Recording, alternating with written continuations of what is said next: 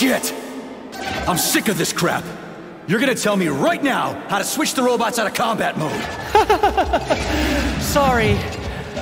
That's not gonna happen. Hell it will. I've already put everything into motion. Stop! This was supposed to be I said a stop! special day for us. I was going to propose to her the day Collective was launched.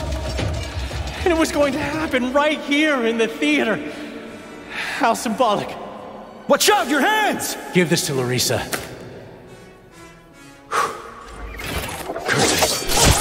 Eh, No! Shit! No, no.